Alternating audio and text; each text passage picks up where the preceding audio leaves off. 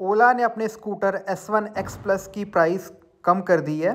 इसकी प्राइस बीस हज़ार रुपये कम कर दी गई है। अब इसकी प्राइस है ninety thousand rupees ex showroom पहले इसकी प्राइस थी एक लाख दस हज़ार रुपये। इसमें आपको कीलेस एंट्री मिल जाती है।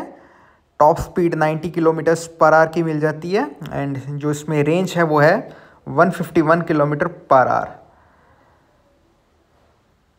फॉर फर्दर डिटेल्स आप ओला की वेबसाइट पे जा सकते हैं।